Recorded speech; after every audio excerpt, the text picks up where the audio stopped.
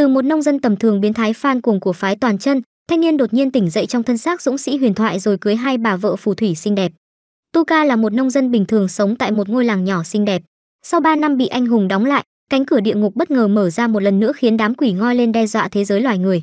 Thế mà cũng chẳng ảnh hưởng chén cơm của Tuka vì tất cả những điều anh quan tâm là khu vườn nhỏ với những cây củ cải mướt mượt như đùi gái của mình. Một hôm lên đang khom lưng chống gối nhổ cây củ cải lên thì cô nàng thanh mai trúc mã Juna xuất hiện bảo thằng bạn làm ơn trưởng thành lên dùng cái bằng tuổi người ta đi làm dũng sĩ cả rồi. Bị con bạn thân coi thường men đã cho nó biết anh đã làm sẵn bẫy cho đám quỷ. Nếu chúng nó bén mảng đến nhà anh và hứa sẽ bảo vệ đôi lốp xe căng bóng của cô nàng bất kể chuyện gì xảy ra.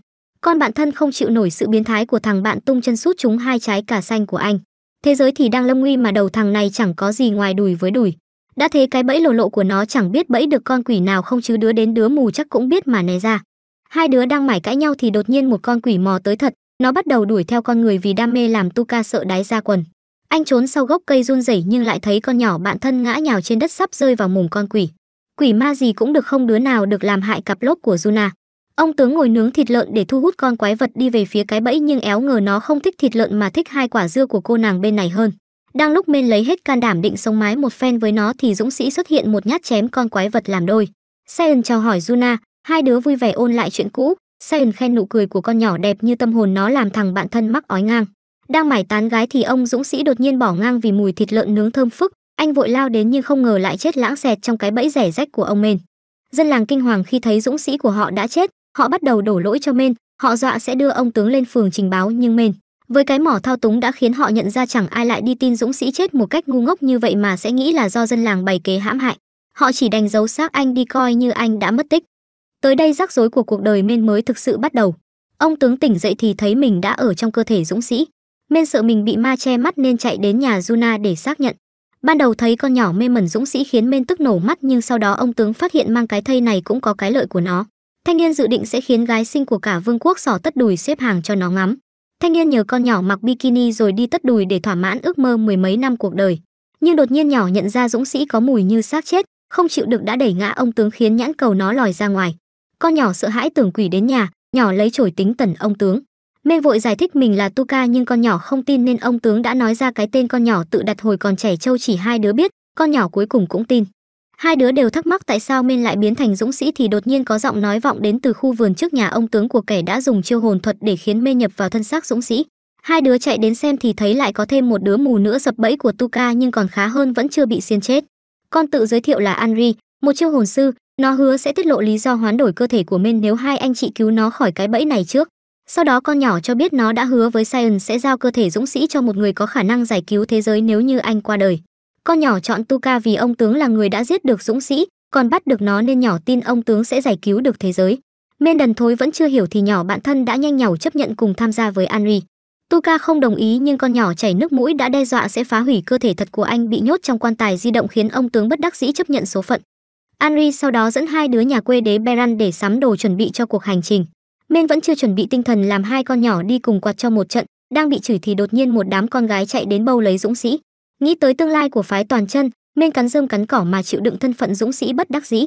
Họ đến một cửa hàng vũ khí, chiến thần mặc cả sắm cho con bạn một cây đũa thần trị giá 10 triệu chỉ với 1.000 crup. Cả bọn gom góp lại mà chẳng được mấy đồng, tiền trọ một đêm là bay sạch.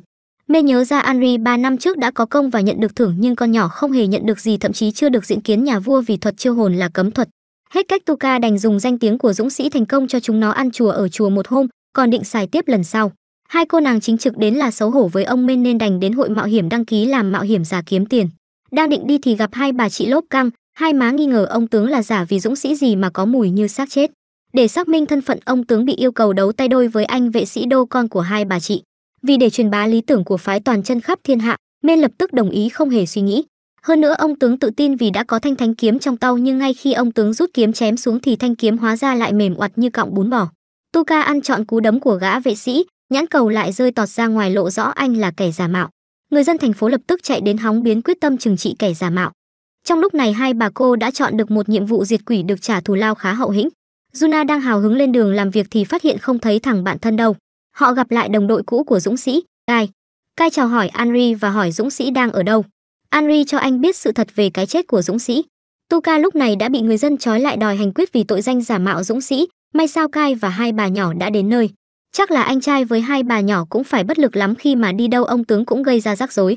Cai đưa cho anh thanh kiếm thánh bảo anh tưởng tượng nó thành một thanh kiếm khổng lồ, thanh kiếm biến to khiến tất cả mọi người phải há hốc mồm. Đang lúc mọi người định rũ bỏ nghi ngờ thì mũi kiếm mềm oặt rũ xuống phá vỡ hết nỗ lực của ông tướng.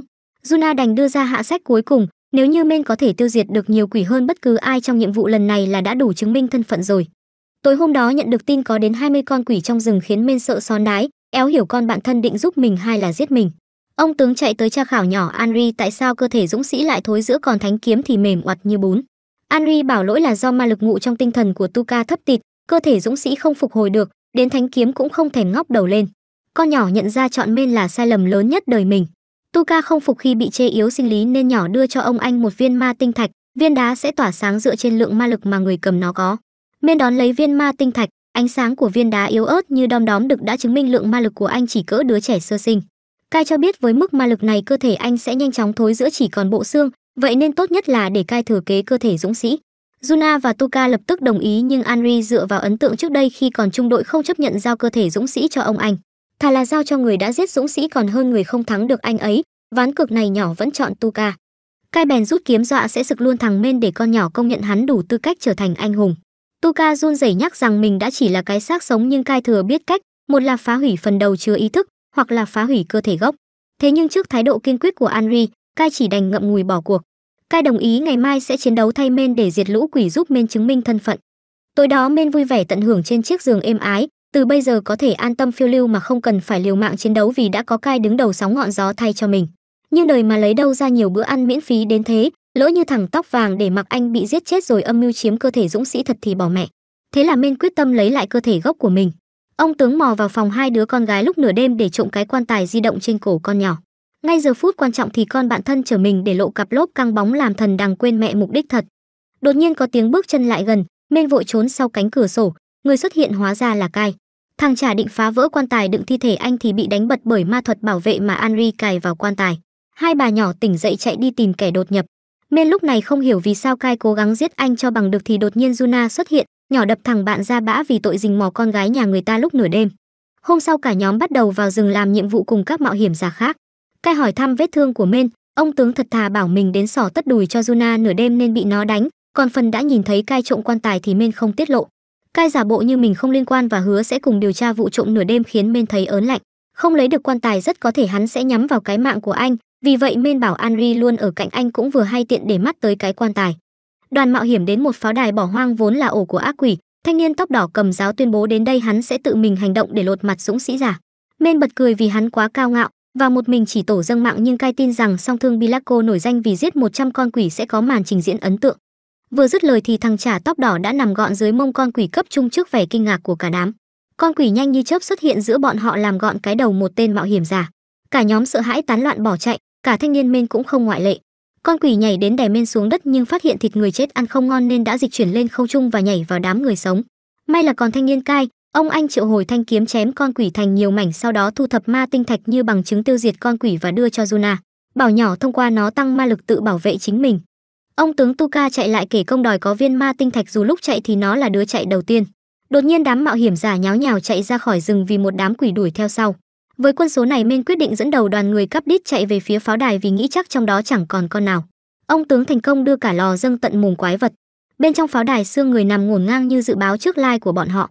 Cũng may nhờ có thi thuật của Anri họ đã có một đội quân xương người chống lại quái vật. Kai sông sáo tới yểm trợ cho con nhỏ trong khi Juna run rẩy tự cổ vũ chính mình chiến đấu.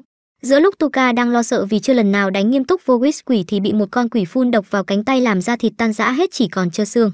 Con quỷ chuyển sự chú ý sang Juna nhưng éo hiểu kiểu gì độc của nó chỉ làm tan chảy quần áo của con nhỏ. Không hổ danh là lũ quỷ, quỷ biến thái, Juna quá xấu hổ vội chạy như bay đi trốn, thằng bạn thân cũng vì nhiều lý do mà đuổi theo sau con nhỏ. Tuka tìm thấy con nhỏ bị nó hiểu lầm là biến thái, sau đó men bảo con bạn thân bình tĩnh nó có trang phục dự phòng nhưng éo ngờ lại là bộ đồ tắm kẻ sọc bé tí. Đột nhiên có tiếng con quỷ đang đi tìm đứa con gái khỏa thân, men biến thanh kiếm thanh chiếc roi rồi trói con quỷ lại. Sau đó men buông tay ra để thánh kiếm cứng lại như cũ tạo cơ hội cho con bạn thân giáng một đòn dứt điểm. Nhưng con quái vật bất ngờ quay xe thể hiện tình yêu với gái khỏa thân đi tất đùi khiến men dưng dưng công nhận nó là người đàn ông đích thực. Tuka nhận nó làm đồng minh khiến con bạn thân ngứa mắt, cô nàng sử dụng ma lực tăng cường sức mạnh cho cả hai thằng biến thái một cú đá, hai đứa ôm nhau dính bẹp vào tường. Cứ tưởng đến đó là ăn mừng được rồi nhưng đột nhiên thanh niên cai xuất hiện đập ngất nhỏ bạn thân để có cơ hội sực thằng dũng sĩ giả. Tuka lập tức cầm kiếm tự vệ, dù có cố gắng nhưng không đáng kể, thanh kiếm bị thằng trả chém bay thành từng mảnh. Thằng trả bắt đầu huyên thuyên về quá khứ của kẻ phản diện, hắn sinh ra với dòng máu thần thánh, có trong tay mọi thứ nhưng kiếm thánh lại chọn Sion làm dũng sĩ. Khi Henry gia nhập nhóm hắn đã có ý định giết dũng sĩ để con nhỏ dùng chiêu hồn thuật cho mình vào thân xác dũng sĩ nhưng chẳng lần nào thành công. Giờ đây cuối cùng hắn cũng có trong tay cơ hội hoàn thiện bản thân bằng cách biến thành dũng sĩ. Hắn tạo ra những chiếc shuriken ma thuật ghim chặt men vào tường. Tuka chỉ thấy hắn thật nực cười, coi thường hắn không tìm thấy giá trị của mình còn chẳng bằng cả đứa nông dân quèn như anh. Cai không nghe lọt tai lời của men nên định kết liễu anh luôn nhưng nhỏ bản thân đã tung chân sút thủng tai ông anh, giờ thì nghe lọt chưa thẳng đần. Cai lồng cồm bò dậy thì lại nhận một đòn từ con quái vật khiến quần áo hắn cũng tan chảy. Hắn khỏa thân quay lại phát hiện ra Henry đã tới cùng con pet mới của nhỏ. Henry cho biết đám mạo hiểm giả đã quay lại giúp con bé chiến đấu nên nó vội vàng chạy đến tìm Tuka vì biết Kai sẽ nhân cơ hội chơi giờ. Con nhỏ không đời nào giao cơ thể dũng sĩ cho kẻ cùng vọng như hắn. Cai nổi điên tiết lộ Anri không phải con người, tộc chiêu hồn sư có trái tim chính là ma tinh thạch nên chẳng khác gì quỷ đội lốt người. Hắn tạo ra thêm nhiều suriken ma thuật tấn công bọn họ, đám người dắt nhau bỏ chạy rồi đột nhiên mất dấu. Tất cả là nhờ khả năng nhảy số nhanh nhạy của Men, anh biến thanh kiếm thành bức tường để ngụy trang khiến Cai không nhìn ra sơ hở. Lúc này Men mới có cơ hội hỏi Anri về những gì thằng đầu vàng đã nói. Con nhỏ tiết lộ rằng tổ tiên bọn họ là những con người đã bị giam bên kia cánh cổng từ rất lâu trước đây nên đã tiến hóa để thích nghi. Ba năm trước họ đến thế giới loài người nhưng lại bị đồng loại của mình áp bức khinh miệt, chỉ có duy nhất Sion biết được thân phận của nhỏ mà vẫn coi trọng nhỏ, đối xử với nhỏ như con người. Henry bằng lòng chịu mọi hình phạt từ Tuka vì đã không cho anh biết sự thật ngay từ đầu, chỉ cần anh thực hiện ý chí của dũng sĩ. Thần đăng dù có hơi giận vì nhỏ kéo nó vào rắc rối nhưng tha thứ vì nhìn thấy tiềm năng trở thành mỹ nữ với cặp đùi đẹp của con nhỏ. Họ cùng nhau lên kế hoạch tặng cho Kai một cái bẫy cho bõ công hắn khỏa thân chạy nhông nhông khắp nơi. Thằng đầu vàng vậy mà phát hiện ra cái bẫy và né tránh thành công phát đạn của con quỷ, hắn tung suriken chém con quỷ thành từng miếng. Anri ngã khụy trên đất vì đã dùng quá nhiều ma lực lên thi thuật từ lúc nãy. Tuka thấy tình thế bèn ném thánh kiếm về phía hắn đồng thời hứa giao nộp Anri để xin hàng. Cai bước từng bước chiến thắng về phía thánh kiếm nhưng Trưng Hửng phát hiện chỉ có mỗi cái chuôi kiếm pha kẻ. Đúng lúc này Tuka chứng minh thế mạnh của mình từ đầu phim của mình là đặt bẫy, cây cầu làm bằng thanh kiếm bị lộ còn thằng đầu vàng rơi xuống như sung dụng. Bộ ba trở lại thành phố với số tiền thưởng nhưng bị ông chủ cửa hàng vũ khí lấy đi. Vì lúc trước men mua chịu cây đũa cho bà bạn thân còn nhỏ Anri chạy đi mua tất đùi thỏa mãn sở thích của ông tướng nhưng đùi con nhỏ chỉ như hai cái que củi. Cả ba quyết định đến kinh đô bòn tiền nhà vua, vừa đi vừa làm tiền để trả nợ. Trên đường đi men mất rất nhiều thịt trên cơ thể và không đủ ma lực nên không thể tái tạo lại. Giờ cởi quần áo ra thần đằng chỉ còn đúng bộ xương trơ trọi, ông tướng tranh thủ cơ hội hóa thân thành bộ xương vô tri ngồi ghế vip nhìn trộm con bạn thân tắm. Nhưng Juna với giác quan thứ sáu của phụ nữ vẫn phát hiện ra mùi biến thái từ thằng bạn nên đem nó đi chôn mẹ đi cho đỡ hại nước hại dân mặc kệ nhỏ Anri cố gắng ngăn cản. Men chợt nhận ra nếu mình đến vương đô trong hình dạng này chắc chắn sẽ gây náo loạn một trận. Men nảy ra ý định để Anri nhập vào thân xác dũng sĩ và dùng ma lực của nhỏ hồi phục cơ thể dũng sĩ trở lại nguyên trạng, sau đó lại giao cơ thể đó cho anh. Nghe có vẻ xuôi nhưng Anri nhất quyết từ chối vì việc chuyển đổi cơ thể liên tục sẽ dẫn đến thoái hóa tinh thần, linh hồn Men rất có thể sẽ bị tàn phế. Hai con bánh bè lại không muốn ông tướng phụ thuộc vào tiền của quốc vương nên nghĩ cách khác kiếm tiền dần, trong lúc đó Men đã nghĩ ra cách để vào vương đô an toàn. Men biến thanh thánh kiếm thành một cái mặt nạ rồi vẽ mặt mũi lên cho nó bằng trái cây dại rồi đeo lên. Thanh niên đến thẳng cung điện gặp đức vua mà không gặp bất kỳ rắc rối nào, tiện xin xỏ tiền tài trợ cho chuyến đi đóng cổng địa ngục. Đức vua bất chợt bật cười vì lúc trước muốn thưởng nhưng dũng sĩ nhất quyết không nhận bất kỳ đồng xu các bạc nào, bây giờ xin xỏ chắc hẳn vì đã đồng ý kết hôn với công chúa Margaret, ông sai người đưa Men đến chỗ công chúa. Tuka gõ của phòng, ngay khi công chúa mở cửa Men đã biết dũng sĩ thật ra là một thằng ngu vì đi từ chối kết hôn với người con gái sinh thế này. Nhưng khuôn mặt đang chảy mực tèm lem của thanh niên dọa người ta sợ đóng sầm cửa lại. Men cố gắng gõ cửa và cho công chúa xem khuôn mặt thật, nói rằng do lời nguyền của quỷ mới bị biến thành bộ xuống. Công chúa lập tức kéo anh vào phòng nghĩ rằng anh đã đồng ý kết hôn. Men lờ lờ đi nhưng công chúa nhớ rằng dũng sĩ đã hứa sẽ không bao giờ quay lại gặp cô nếu không đồng ý lấy cô làm vợ. Nhớ đến chủ nợ khát máu đang gào thét khản cổ, mê ngậm ngùi đồng ý để loài công chúa lấy tiền của nhà vua trước. Công chúa vui mừng rủ Tuka tham gia lễ hội hóa trang ở Vương đô được tổ chức hai ngày sau. Hào hức vì lần đầu được hẹn hò với người thật đùi thật thay vì củ cải, men đồng ý cái dục. Công chúa tốt bụng vẽ giúp anh một khuôn mặt lên mặt nạ y hệt mặt dũng sĩ để thanh niên mang mà không bị phát hiện. Lúc này Juna và Anri, người mang mũ giáp hiệp sĩ để che đi danh tính chiêu hồn sư đang đi dạo quanh vương đô, nhỏ Anri đột nhiên bị đám đông va chạm làm dụng mũ giáp. Một ông anh đầu xanh chuối giúp con nhỏ nhặt chiếc mũ lên, anh nhận ra con nhỏ và cũng nói với họ về cuộc săn quỷ quy mô lớn sẽ diễn ra trước lễ hội hóa trang. Anh trai tự giới thiệu tên là Lơ Lan, hiệu trưởng cô nhi viện và cũng là bác sĩ, ông anh mời hai đứa về văn phòng sơ trà. Lơ Lan tốt bụng cảnh báo Anri vì Vương Đô đang đề phòng chiêu hồn sư. Khi được hỏi lý do giúp đỡ, Lơ Lan chỉ khiêm tốn bảo mình không phân biệt chủng tộc như người khác. Anri bị tình thương người của ông anh làm mờ mắt, xém chút thì tiết lộ bộ ba đến Vương Đô để xin tiền, may sao có Juna phản ứng nhanh kịp thời chữa lời thành bọn họ muốn tăng ma lực. Lơ Lăn giới thiệu một loại thuốc có thể tăng ma lực tạm thời gọi là Soma thủy và đòi cái giá là nhỏ loli cho hắn xem cơ thể. Bà chị Juna muốn đi thay nhỏ con nít nhưng ông anh phì cười vì chỉ muốn nghiên cứu chiêu hồn sư biết đâu cứu được nhiều người hơn. Trở lại cung điện, công chúa đã vẽ xong chiếc mặt nạ cho Tuka. Sau khi giao nó cho thanh niên công chúa quay vào bàn ngấu nghiến thức ăn để bù vào khoản ma lực đã dùng để tạo mặt nạ. Trong lượng thức ăn như đủ cho cả 10 người mà lại không đủ cho một mình công chúa, cô nàng ngất xỉu vì đói khiến thanh niên lo lắng. Isaac, giáo viên của công chúa xông vào chút cơn thịnh nộ lên người thanh niên vì đã biết công chúa bị bệnh ma lậu mà còn ngăn cản cô ấy nạp năng lượng. Người hầu phải vội vã lên bàn ăn cùng với Soma thủy để giúp công chúa lấy lại ma lực. Lúc này hai con bánh bèo đã đến khu rừng diễn ra cuộc săn quỷ cùng những người khác. Khi chưa kịp lên sàn chiến đấu thì Silera, một trong tứ kỵ sĩ mạnh nhất vương quốc đã hạ xong con quỷ khổng lồ bằng nhát cắt sắc ngọt. Sau đó hai kẻ mạo hiểm giả xuất hiện giới thiệu với hai con vợ một địa điểm săn quỷ bí mật để họ săn quỷ mà không cần cạnh tranh với kẻ mạnh như Silera. Negan và Colin đưa họ đến vách núi có đám quỷ bên dưới, đồng thời giao cho họ viên ma tinh thạch sấm sét để họ đối phó với chúng. Henry đọc thần chú khiến đám quỷ gục ngã trong đúng một chiêu. Hai đứa đến gần để thu thập ma tinh thạch thì đột nhiên tên mạo hiểm giả tiết lộ đám quỷ dễ chết vì chúng cũng chỉ là xác chết được điều khiển bằng thi thuật. Hai con quỷ lao lên giữ lấy hai đứa từ phía sau. Sau đó một tên đàn ông đeo mặt nạ được gọi là ngài xương xuất hiện từ trong bóng tối của khu rừng. Silora trở lại cung điện báo cáo với đức vua rằng khu rừng đã sạch bóng ác quỷ, thế nhưng vẫn còn điều khiến cô bận tâm. Cô nàng phát hiện luồng ma thuật mạnh mẽ nên đi điều tra rồi đến nơi toàn máu và mảng thịt quỷ cháy đen, điều kỳ lạ là không thấy cái xác nào ở đó cả. Thêm cả sự kiện gần đây nhiều người biến mất khiến đức vua cân nhắc hủy bỏ lễ hội. Silera trấn an đức vua và đảm bảo sẽ nâng cao cảnh giác của kỵ sĩ đoàn trong suốt thời gian lễ hội, hơn thế nữa họ đang có sự giúp sức của dũng sĩ. Trở lại với Men và công chúa, Margaret đưa Tuka đến phòng nghỉ đã chuẩn bị sẵn cho anh, cô phải đi gặp bác sĩ để khám lại. Sau khi công chúa rời đi, Men đột nhiên nhớ ra mục đích thật đến là để vòi tiền nhưng không thành nên chạy đi tìm hai con bánh bèo. Sau khi hỏi thăm thanh niên biết có người thấy hai đứa đến trại trẻ mồ côi. Khi đến cô nhi viện Men gặp công chúa, hóa ra Lơ Lan chính là vị bác sĩ mà cô nhắc tới. Tuka hỏi anh về hai con bánh bèo thì được biết họ đã tham gia cuộc săn quỷ chắc là cũng sắp trở về rồi. Tuka thở phào nhẹ nhõm sau đó quyết định quay lại cung điện vì kiểu gì hai hôm nữa có lễ hội cũng gặp được hai đứa. Sau khi người đã rời đi hết, Lơ Lan đi xuống tầng hầm đeo lên chiếc mặt nạ đầu lâu của mình, biến thành ngải xương. Hắn tìm đến Juna đang bị trói, cho cô biết kế hoạch nạo bỏ hết máu thịt dư thừa để biến cô về với trạng thái xinh đẹp nguyên thủy như những bộ xương. Hắn cũng đã chuẩn bị sẵn Anri làm thế thân cho mình, khiến mọi người tin rằng những người mất tích là do thi thuật của con nhỏ. Juna dự định tìm cơ hội để dùng ma thuật tăng cường cơ thể phá tan xiềng xích, cô nàng tự động viên mình phải cố thủ cho tới khi kẻ canh gác bị phân tâm. Hai ngày sau Vương đô ngập trong không khí lễ hội, công chúa đã đến muộn một chút vì bận sửa soạn bản thân. Họ cùng nhau tận hưởng lễ hội trong con mắt dè chừng của Isaac, ông chú không chịu được cảnh cáo men và nhận lại cái tát từ công chúa vì đã dám phỉ báng chồng tương lai của cô nàng. Công chúa có điều không biết, Isaac đã sớm nhận ra Tuka không phải là dũng sĩ thật sự, ông chú thể sẽ khiến men phải trả giá vì đã dám đùa giỡn với công chúa. Trong hồi ức của Isaac, chú đã luôn coi công chúa như con gái ruột của mình và nâng niu cô từng chút một. Chính nhà vua đã quyết định gả công chúa cho dũng sĩ để hoàng gia có được dòng máu dũng sĩ. Công chúa và dũng sĩ tham gia một thử thách, công chúa phải bắn mũi tên trúng quả táo đậu trên đầu ông Men để đổi lấy một xe đầy ụ táo đỏ đủ ăn trong cả năm. Men thì sợ sắp xón ra quần nhưng may sao công chúa không chỉ có mỗi vẻ đẹp, cô nàng nhẹ nhàng giành được bữa trưa mà không tốn một đồng. Lúc này Silora nhận lệnh Isaac trông chừng hai người bọn họ, cô nàng nhận ra khuôn mặt dũng sĩ nhìn thế nào cũng là bộ xương đang nói chuyện chứ không phải mặt nạ. Công chúa vẫn vô tư kéo anh đi khắp nơi, tới một địa điểm vắng vẻ để ngắm pháo hoa. Anh nông dân nghèo chưa bao giờ thấy pháo hoa đã để lộ mình trước công chúa vì cô nàng và dũng sĩ từng cùng nhau ngắm pháo hoa một lần. Biểu hiện đáng ngờ của thanh niên khiến công chúa nghi ngờ và hỏi anh thật sự là ai. Đúng lúc này chú mắt trột và chị đùi múc cũng xuất hiện bắt men lật bài ngửa.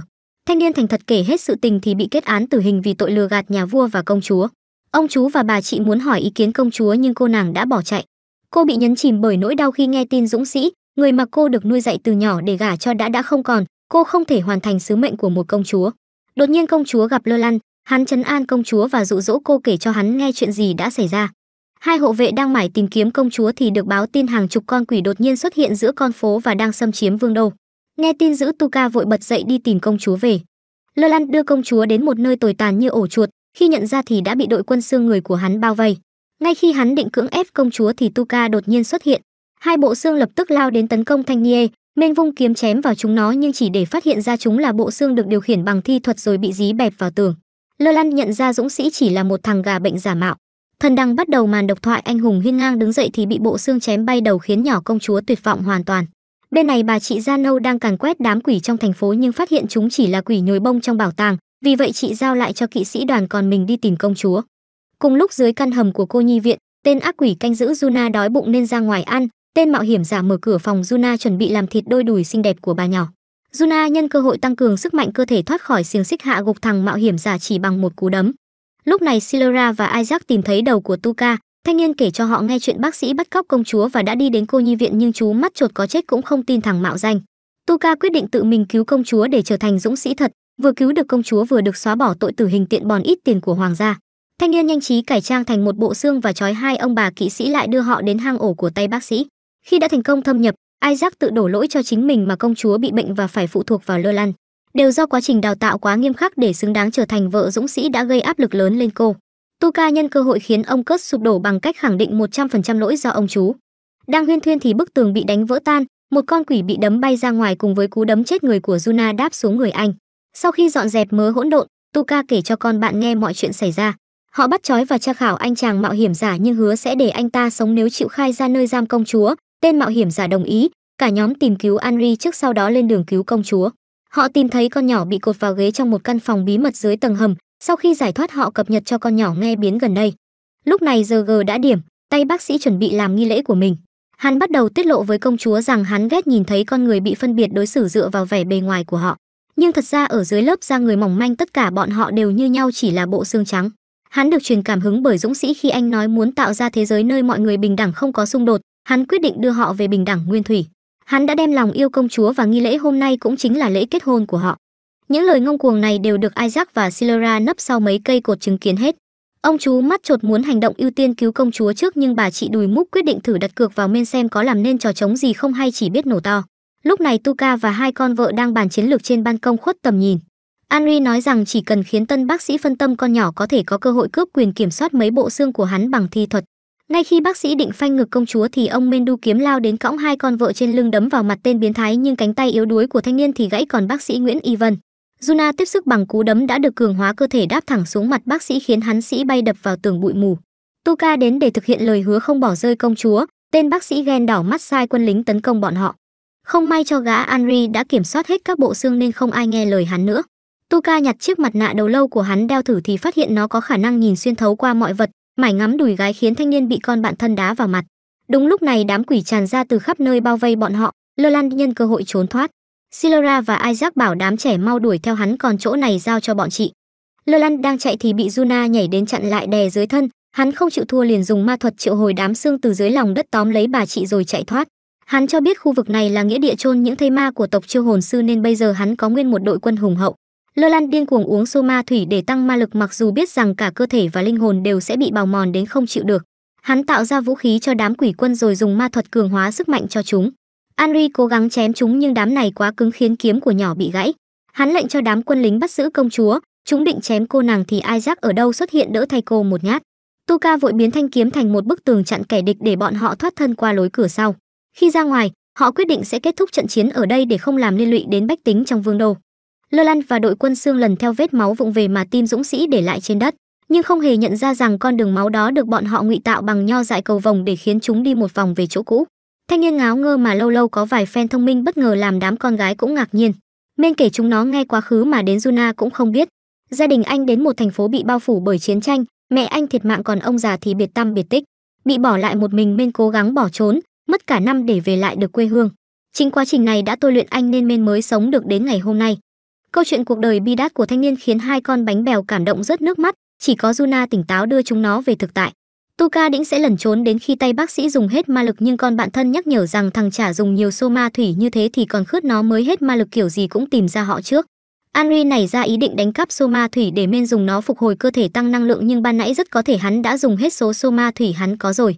Isaac đột nhiên cho gợi ý nếu muốn tăng cường ma lực thì dịch thể của công chúa có tác dụng tương đương với Soma thủy, do cô đã hấp thụ quá nhiều Soma thủy vì bệnh ma lậu. Đám người quyết định để công chúa cho dũng sĩ uống chút nước tăng lực lên tinh thần, bằng cách nào uống cái gì thì anh em cứ tự phát huy trí tưởng tượng. Ngay trước khi thực hiện tu ca nhận ra họ có thể dùng cách khác và kịp thời ngăn công chúa lại. Mê nhận ra bác sĩ không phải một chiêu hồn sư thuần túy, Sau khi sử dụng hết số ma thủy để tăng cường ma lực hắn sẽ điều động xương từ mọi hướng bao vây. Lúc này họ sẽ dùng thánh kiếm biến thành tảng đá nấp chờ thời cơ tấn công.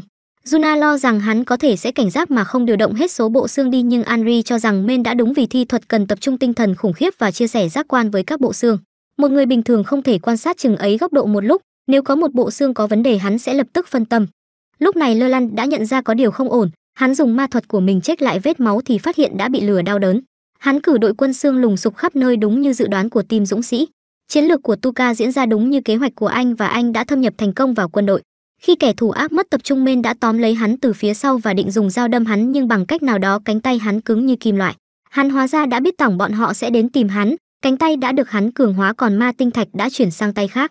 Hắn lệnh cho đội quân xương xé xác anh nhưng chúng đã bị hai con bánh bèo xài trung viên ma tinh thạch thổi bay. Lơ Lan giơ cánh tay có viên ma tinh thạch lên để triệu hồi đám xương, Tuka nhân cơ hội kéo tay áo hắn để lộ viên ma tinh thạch đúng như kế hoạch. Công chúa đang đợi tín hiệu từ vách đá gần đó với cung tên thủ sẵn trong tay, mũi tên lao đi bắn vỡ viên ma tinh thạch của hắn. Đám thây ma bị gỡ bỏ trói cuộc còn đội quân xương về với lòng đất. Juna nựng yêu một cái lên mặt bác sĩ rồi họ trói hắn vào gốc cây. Công chúa cùng Isaac cũng đến nơi, thế nhưng họ ăn mừng chiến thắng chưa được bao lâu thì một con quỷ đã xuất hiện còn túm theo bà chị da Nâu làm quà ra mắt. Henry lập tức nhận ra nó là một con thượng cấp. Trong nháy mắt con quỷ bắn một chùm tia sáng về phía công chúa. Chỉ thấy Tuka phản ứng nhanh đẩy công chúa ra khỏi nguy hiểm nhưng chính mình lại dính đạn từ chùm sáng khiến hộp sọ bị lủng một lỗ to, thanh niên ngã ngửa trên nền đất. Juna nhặt lấy một viên ma tinh thạch trên đất rồi dùng ma thuật cường hóa cơ thể lao vào đánh nhau với con quỷ. Cô nàng tung ra những cú đấm ngàn cân vừa nhanh vừa mạnh về phía con quỷ nhưng đều bị nó nhẹ nhàng chặn lại như trò trẻ con. Cô nàng đột nhiên nhận ra sơ hở liền tung một cú đá vào mặt nó nhưng cũng chẳng si nhê gì cả. Được biết Tuka vẫn còn sống, chỉ đang treo máy vì ma thực hao tổn, cũng không còn tí soma nào. Juna bảo nhỏ Anri chuyển linh hồn thanh niên về thân xác gốc, kiểu gì cũng phải giữ mạng cho ổng. Thế nhưng con nhỏ từ chối vì với tình trạng của Men bây giờ chuyển ra chỉ có đăng xuất luôn. Con quỷ chớp thời cơ đập nhỏ bạn thân bắn vào cây rồi chuyển sự chú ý sang Anri. Con quỷ bảo chiêu hồn sư như bọn họ không nên có những cảm xúc thấp kém tầm thường như con người và muốn đưa nhỏ trở lại địa ngục. Nó đánh ngất con nhỏ để tiện bề xử lý đám đồng đội của nhỏ. Con quỷ tiến về phía công chúa nhưng trước khi nó kịp hành động Isaac đã lao đến chắn trước mặt cô, anh sẽ câu giờ càng lâu càng tốt để công chúa và dũng sĩ làm việc cần làm. Con nhỏ Juna cũng nhanh chóng tỉnh lại sau cơn choáng và nhảy vào combat tiếp với con quỷ. Trong khi đó, công chúa cố gắng hết sức để tăng ma lực cho dũng sĩ bằng dịch thể của mình, nhưng làm thế nào cũng không ra được.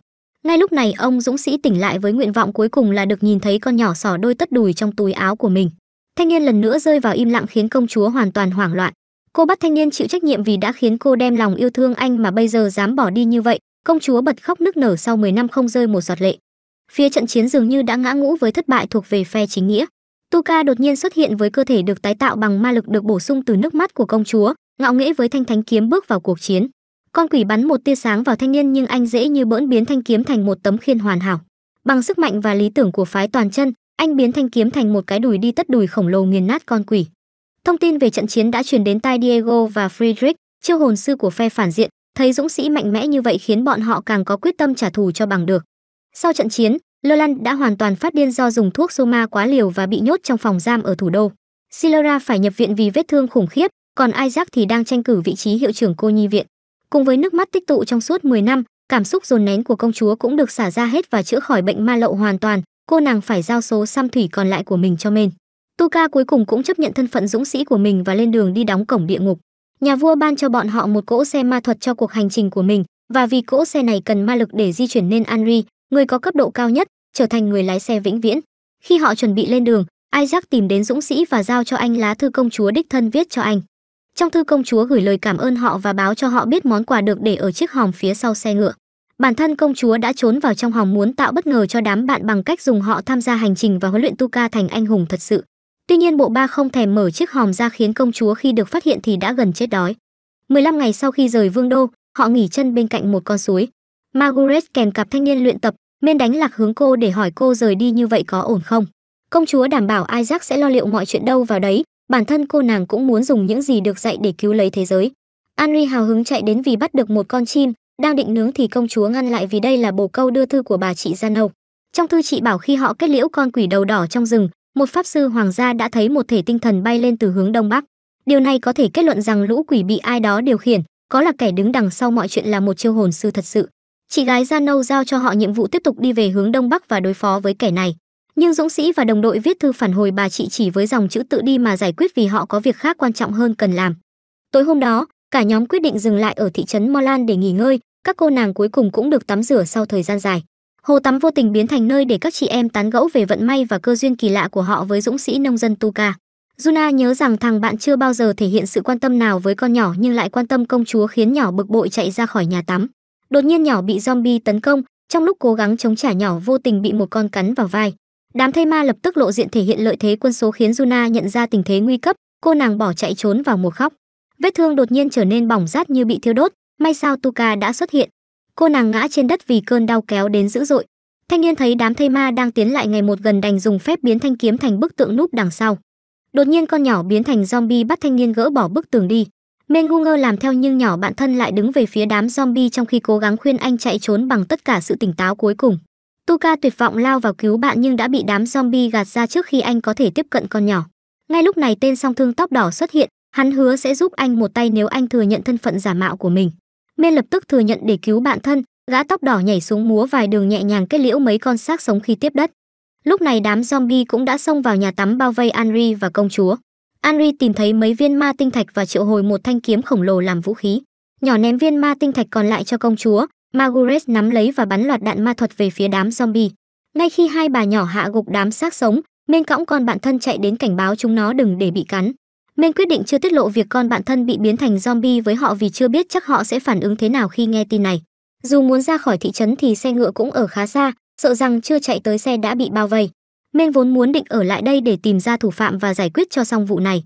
Ông anh đầu đỏ tình cờ nghe được câu chuyện của họ liền gợi ý họ hãy chạy đến nhà thị trường vì ở đó là nơi tập trung những người còn sống sót.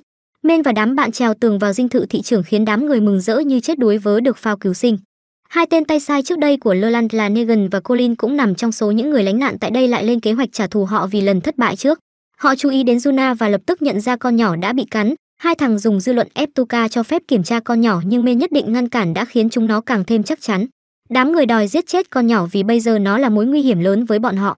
Nhận được sự đồng tình từ công chúng, hai tên mạo hiểm giả tiến đến định xử lý Juna. Ngay khi Colin định hành quyết Juna tại chỗ thì Tuka đột nhiên bộc phát tăng cường sức mạnh đấm gã ngất xỉu. Đám đông phẫn nộ trước hành động bao che của Min nhưng anh không phải là dũng sĩ của công chúng, anh sẽ bảo vệ những người thân yêu của mình đến cùng dù có ai ngăn cản. Đột nhiên Juna tỉnh lại và lao vào đè Tuka xuống đất đòi cắn xe anh, nên cố gắng chống cự đẩy con nhỏ ra bắt nó tỉnh lại nhưng không được. Anri trong lúc nguy cấp vội dùng thuật chiêu hồn khiến Juna bị kiểm soát và thành công rè được đám người dân rằng cô nàng chỉ đang bị cảm lạnh thông thường.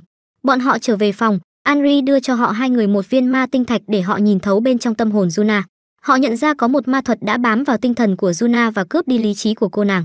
Vì tinh thần cô nàng bị thứ ma thuật này áp chế nên gần như trở thành xác sống và đồng thời càng dễ bị kiểm soát bằng thuật chiêu hồn. Tim Dũng sĩ quyết định đi tìm kẻ hạ ma thuật để phá hủy ma tinh thạch của hắn giải thoát cho đồng đội trước lúc bình minh.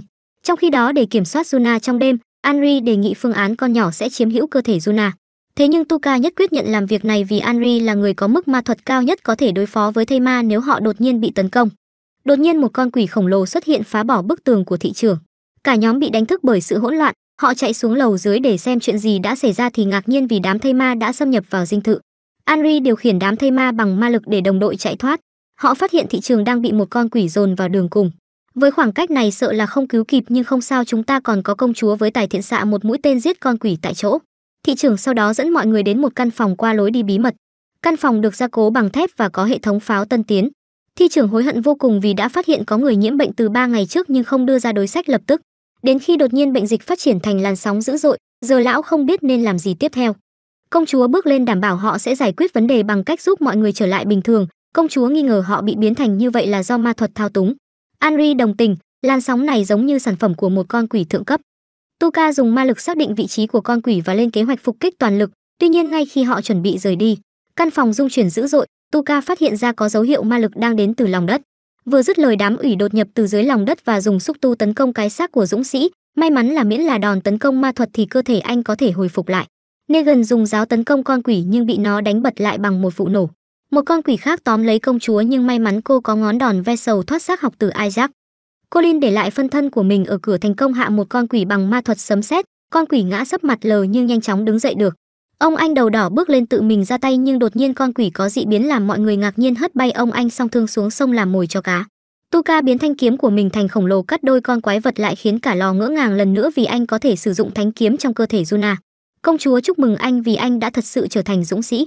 Đột nhiên con quỷ sống lại bất ngờ tấn công bên lần nữa, may mà phản ứng nhanh đỡ được đòn. Henry khống chế nó để công chúa bồi thêm một phát vào đầu nó làm nó yếu đi nhanh chóng. Nhân cơ hội Colin đánh nó bằng tia sét làm cho nó tê lê phê tại chỗ. Sau đó Negan và Colin hợp lực kết liễu con quỷ hoàn toàn. Colin phát hiện ra con quỷ thượng cấp trong phòng đã dùng đám cấp chung để làm lá chắn và chạy trốn. Colin đang định đi xem thì đột nhiên bị thây ma xuất hiện cắn bị thương, họ nhận ra đám thây ma đã đuổi theo đến nơi vội trốn vào phòng đóng chặt cửa lại. Trước khi bình minh lên, họ phải tìm được con quỷ thượng cấp và tiêu diệt nó. Đột nhiên, họ phát hiện con quỷ thượng cấp đang chạy trên đường phố. Nó nhẹ nhàng né được đòn tấn công song kiếm hợp bích của Men và công chúa. Colin không muốn cam chịu bị biến thành thây ma hết nên trượt xuống đường đuổi theo nó bằng thanh kiếm. Ngay khi Colin sắp đuổi kịp con quỷ thì một mũi tên ở đâu bắn xuyên qua người anh. Diego lộ diện trong bóng tối bảo đám trẻ đừng bắt nạt cô gái của anh coi chừng cổ tổn thương. Hắn tiết lộ hắn chính là người bên trong con quỷ ở rừng cùng với Lơ Lan ngày đó. Henry nhận ra Diego cũng là một chiêu hồn sư trong tộc, nhỏ nay tộc mạch khoe hết đám chỉ số thấp lẹt đẹt của gà nhà mới vì cứ ngỡ ông anh huyết lệ Diego đang khen men nhà mình. Sau khi nhận ra men đã giết chết dũng sĩ thật, hắn chào phúng dụ dỗ men đi theo bọn chúng trả thù con người. Ba năm trước rất nhiều chiêu hồn sư đã bị coi như ác quỷ và bị đồ sát dã man bởi đám con người, bọn họ trở lại để đem ác quỷ tràn ngập đến thế giới và tận diệt loài người. Henry không thể đi theo chúng vì đã hứa với dũng sĩ sẽ cứu lấy nhân loại. Tuca và công chúa cũng khuyên Diego bỏ tà theo chính, họ sẽ giúp hắn đàm phán với đức vua bằng ảnh hưởng của mình. Diego cười nhạo họ vì ý tưởng trẻ con hết sức, hắn dường như đã quên ác quỷ mới thật sự là kẻ thù của chiêu hồn sư. Diego dùng mắt thần phát hiện đám người còn sống đang trốn ở một nơi xa, hắn biến họ thành thây ma để họ làm việc cho hắn chống lại dũng sĩ.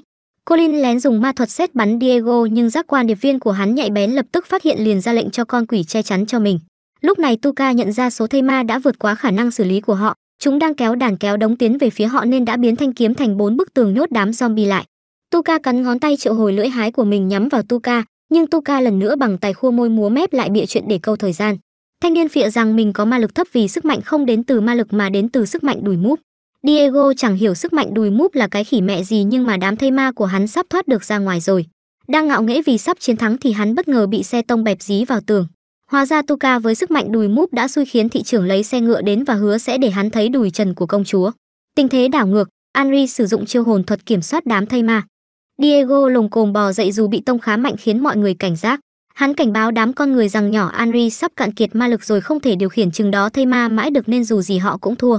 Thế nhưng thị trưởng 10 điểm không có nhưng đã gọi cứu viện hoàng gia đến, thì ra đó là Millie, em gái của Juna. Con nhỏ đi cùng team của mình bao gồm cả cha nhỏ, ông già biến thái Fury. Millie chém Diego bằng kiếm thánh hàng REP 1 giờ 1 phút của mình nhưng Diego đã chặn được, ông già biến thái không cho hắn thời gian thở và phóng một cột sét vào hắn. Đồng đội của Millie dùng ma thuật triệu hồi cột đất đấm bay Diego. Ông già biến thái chạy đến tấn công con quỷ có tâm hồn đẹp nhưng lại bị Diego làm bàn tay hư hỏng của ổng bị thương. Diego gọi con chim siêu to khổng lồ đến đón và để lại cảnh báo đám người bị nhiễm bệnh chỉ còn một ngày trước khi hoàn toàn biến thành ác quỷ ăn thịt người mãi mãi. Công chúa có ý kiến nhốt hết đám người bị bệnh vào một căn phòng và khóa kín lại trong khi Sanon, nhỏ chuyên dùng ma thuật chữa trị xử lý vết thương cho Colin. Tuy nhiên ma thuật quá mạnh khiến nhỏ không thể làm gì khác, Colin bị biến thành thây ma đã không thể cứu vãn được nữa. Colin sau đó giao tất cả tài sản ma tinh thạch và dụng cụ của mình cho Tuka trước khi mất ý thức và bắt men hứa sẽ tiêu diệt con quỷ để cứu anh và mọi người. Sáng hôm sau Tuka bảo thị trưởng đến Vương đô báo cáo sự việc với đức vua. Họ hứa sẽ tiêu diệt con quỷ trước khi bất kỳ ai bị hóa quỷ hoàn toàn. Colin và Negan ở lại trong trường thành phố. Theo bức thư mà Silera cho biết về sự bất thường ở phía đông bắc Vương đô Men đã tìm ra địa điểm phù hợp làm căn cứ của đám quỷ chính là quê hương của anh và Juna, cả nhóm di chuyển tới đó bằng xe ngựa. Họ giới thiệu với nhau và được biết Fury là một trong tứ kỵ sĩ của vương quốc dù đã bị trục xuất khỏi thủ đô 4 năm trước vì đi đâu cũng đòi bóp ngực phụ nữ nhà người ta. Dorothy thì từng là đồng đội của Henry và dũng sĩ, Men đột nhiên đổ mồ hôi hột sợ con nhỏ này cũng đòi giết anh như cai lần trước. Suốt chặng đường đi dũng sĩ vẫn luôn im lặng nên Tuka trong thân xác của Juna phải liên tục nhảy số tanh tách để bào chữa, hết bốc phét lại chém gió, phớt lờ hay đánh lái sang chuyện khác. Đột nhiên từ đâu bay đến lời hứa kết hôn của Tuka với Millie, hóa ra hồi trẻ Châu Mên đấu kiếm thua con nhỏ nên bị bắt hứa, bà công chúa giận tím mặt nhưng không ho he gì. Fury thì hận thằng nhóc nhà quê không hiểu có gì mà ảnh hưởng đến hai đứa con gái rượu của ông nhiều đến vậy. Ông bắt con chị về làng sau chuyến này nhưng Tuka trong cơ thể Juna không chịu. Từ nhỏ Juna đã có mơ ước trở thành pháp sư nhưng cha luôn ngăn cấm vì cô không có năng khiếu phép thuật. Tuka không hiểu sao một người cha có thể phủ nhận con gái mình đến vậy nhưng đột nhiên xe ngựa của họ bị chặn lại bởi một tảng đá lớn. Diego đã điều động nhân lực để truy đuổi dũng sĩ, đây chính là một trong những cái bẫy hắn răng sẵn cho team dũng sĩ trên đường về quê. Một con quái vật như con bọ cạp khổng lồ nhảy xuống trước xe ngựa, Sanon lập tức lùi xe nhanh nhất có thể để tránh con quỷ nhưng lại sập vào hố bẫy được răng sẵn, thủ đoạn vô cùng quen thuộc. Tuka kịp thời biến thanh kiếm thành một chiếc đệm nên may sao cả đoàn không ai bị thương dù ngã từ trên vách núi xuống. Milly bối rối vì thấy bà chị sử dụng được kiếm thiêng nhưng sự bối rối rất nhan biến mất vì công chúa nhận thấy rằng họ đã đến gần một thị trấn nhỏ. Họ quyết định tới đó để mua một chiếc xe mới hoặc sửa cái xe ngựa cũ. Đi được vài bước tầm nhìn của họ đã hoàn toàn bị che phủ bởi sương mù dày đặc. Milly thôi bay sương mù bằng thanh kiếm thánh pha kè và tự tin thản nhiên đi tiếp về phía trước trong khi không hề nhận ra một cái bẫy khác đang răng sẵn để rồi xém chút bị cái cọc gỗ to trà bá giã thành ruốc. Sương mù lại bao phủ bọn họ rõ ràng như có kẻ đang điều khiển nó. Milly đột nhiên nghe tiếng con quỷ đang gọi mình. Lát sau con nhỏ sợ hãi chạy về nhóm trong tình trạng quần áo tả tơi làm cả bọn phải trốn trong xe ngựa. Không thể cứ thế mãi, họ quyết định tìm đường thoát trong sương mù và bảo vệ thi thể dũng sĩ. Toàn bộ điều này đều nằm dưới con mắt kiểm soát của bà cô tóc ngắn đứng gần đó, bà dùng sương mù ngụy trang cho con quỷ để nó lẻn vào sát hại công chúa. Đòn đánh xuyên qua người công chúa, cướp đi mạng đầu của tim dũng sĩ. Tuka nghe tiếng động hoảng loạn cảnh giác trong sương mù và phát hiện tim địch đã xanh quá vì phe mình chỉ mỗi anh còn sống sót, đồng đội đều đã ngã xuống. Đám quỷ và thủ lĩnh của chúng đáp xuống mặt đất đến gần anh. Mên vội vã van xin được sống thậm chí lấy thanh thánh kiếm để thế chấp nhưng bà pháp sư không có ý định thả anh rời đi, ả ra lệnh cho đám quỷ kết liễu anh. Đến nước này thì Tuka bảo Anri không cần e dù mà cho chúng biết mùi đi, Anri điều khiển con quỷ đã chết xử lý một con quỷ. Hóa ra những đồng đội đã chết đều là đóng kịch, con quỷ đầu tiên xuống ám sát công chúa đã bị công sực hẹo trước với sự giúp đỡ của Tuka vẫn luôn theo dõi nhất cử nhất động của kẻ địch. Họ giả thua chỉ để dụ tên đầu sỏ ra mặt. Tuka không ngừng dùng lời nói vừa chiêu hàng vừa đe dọa kẻ cầm đầu đám quỷ nhưng không ngờ người này lại là sư phụ anh Iro. Mina quá phấn khích không giấu nổi vui mừng nên vô tình để lộ mình đang ở trong cơ thể Juna. Anri và công chúa giải thích cho đám người mới còn lơ tơ mơ, sau đó Men cũng kể chuyện mình gặp sư phụ cho mọi người. Sau cái chết của mẹ, Men đang tìm đường về cố hương thì rơi vào bẫy của sư phụ. Mấy ngày sau sư phụ phát hiện rồi đưa anh về nhà chăm sóc tới khi hồi phục. Khi tỉnh lại Men đã cầu xin sư phụ đưa mình về quê hương, trên đường đi tiện xin sỏ học cách tạo ra mấy cái bẫy giống bà. Nhưng Izo từ chối thẳng thừng vì bà chỉ là tội phạm bị treo thưởng truy nã với số tiền khổng lồ cho cái đầu của bà, đi cùng bà Chi khiến thằng nhỏ gặp rắc rối thôi. Nhưng bên là vua lì đòn cứ bám theo không chịu buông khiến Izo cuối cùng đành đồng ý. bên thắc mắc tại sao sư phụ lại phục vụ cho đám quỷ, bà cho biết cổng địa ngục mở ra đã thay đổi tam quan của bà. Bà khuyến khích chúng nó tự đến nơi xem thử rồi tự đưa ra quyết định và bỏ đi với cây thánh kiếm. Nhưng Tuka đã ngăn bà lại và mời bà đi cùng mình. Izo đương nhiên từ chối nhưng thằng đệ tử khá quá đặt cả bẫy sư phụ vào chuôi kiếm dọa cho bà bay luôn tay phải nếu dám trái lời. Bà đành chịu thua và chấp nhận đi cùng chúng nó. Izo biết quanh đó có một xưởng ma đạo cụ, họ có thể sửa cái xe ở chỗ đó. Thanh niên mên nằng nặc đòi xem dưa để phạt bà sư phụ vì đã thua đệ tử. Trên đường trở về thủ đô thị trưởng đụng độ đám quỷ, may nhờ có ông anh tóc đỏ dù quỷ là do con ngựa xử lý. Ông thị trưởng dẫn anh tóc đỏ đến hang động khoe cái thuyền ổng định dùng để đế vương đô. Trong khi đó nhóm Izo và đàn con thơ đến xưởng ma đạo cụ. Ông chủ xưởng đuổi khách về vì người ta nghỉ hưu rồi mà vô duyên quá dậy má. Bất chấp đám trẻ ngăn cản bà sư phụ với thằng đệ hì hục phá khóa trộm cái xe khác cho lẹ. Vừa mở cửa thì ông già đón chào họ với cây giáo trên tay. Nhưng ổng cũng thuộc phái mê gái vừa thấy đã xà vào hai trái bưởi của Juna với lý do mắt kém nhận nhầm người. Izo giới thiệu với cả lò ổng là Rido, ông nội của Sion. Ổng mời cả đám uống trà chiều nhưng thay vì rót trà vào ly thì ổng rổ luôn lên đầu khách lại với lý do mắt kém. Sau khi xem xét chiếc xe của họ, ổng bảo phải mất hai ngày để sửa chữa xong cái xe hư hỏng này nhưng hai ngày. Với bọn họ là quá lâu nên công chúa thể hiện khả năng của mình học hết sách ma thuật trong nhà ổng rồi giúp ổng sửa xe. Tuka lại cố gắng hỏi con nhỏ Milly về chức danh dũng sĩ của nó và cả thanh thánh kiếm nữa nhưng ông già nhà nó từ chối để lộ thông tin trước mặt bà cô tóc ngắn làm bà càng tò mò. Bà hứa sẽ lấy thông tin kẻ địch ra trao đổi nên họ đồng ý, chuyện là thanh thánh kiếm của Milly chỉ là hàng nhân tạo, có ba thanh như vậy được tạo ra bởi pháp sư hàng đầu. Mặc dù những thanh kiếm này không đủ mạnh để phong ấn cánh cổng địa ngục, nhưng chúng có thể tiêu diệt ma vương và tứ đại ma tướng, chống lại được sức mạnh tái sinh của bọn chúng mà không có thứ vũ khí nào khác làm được. Như đã hứa Izo tiết lộ cho họ một chút thông tin về tứ đại ma tướng, những chiêu hồn sư mà bọn họ sắp đụng độ đang nhập hồn vào xác của tứ đại ma tướng, ở Albania cũng có hơn 1000 con quỷ đang đợi họ. Bà khuyên bọn họ nên từ bỏ Albania mà đi thẳng đến cổng địa ngục. Tuka biết ơn vì lời khuyên của bà nhưng anh có người mình muốn cứu mặc kệ thiên hạ sóng gió ra sao, giống với ba năm rưỡi trước đó người anh muốn cứu không hề thay đổi. Chiều hôm đó bên bờ suối, Milly hỏi Tuka có phải đang cố cứu chị gái của mình hay không. Tuka thành thật thú nhận và kể cho nhỏ nghe tình trạng của bà chị. Tuka hỏi con nhỏ làm thế nào lấy được thanh thánh kiếm nên nhỏ bảo đã thắng được trong một giải đấu. Con nhỏ lại thách thức men đấu kiếm với nó như ngày xưa để có thể kết hôn với ông anh. Đang lúc dầu sôi lửa bỏng mà gây nhau, men bị con em dần cho một trận tơi tả chạy bán sống bán chết. Men quyết tâm khẳng định phẩm giá quý ông rút kiếm ra nhưng hết ma lực nên thanh kiếm lại mềm như lụa. Milly lao đến, Ông anh bại trận hoàn toàn bắt đầu phè phỡn đùa giỡn làm con nhỏ bị chọc điên hoàn toàn, ông anh yếu thế này thì cứu bà chị tôi kiểu gì mà đòi cứu. Men lại mua mép kiểu như anh không mạnh nhưng anh có cái đầu lạnh, kẻ địch cỡ nào anh cũng chơi được.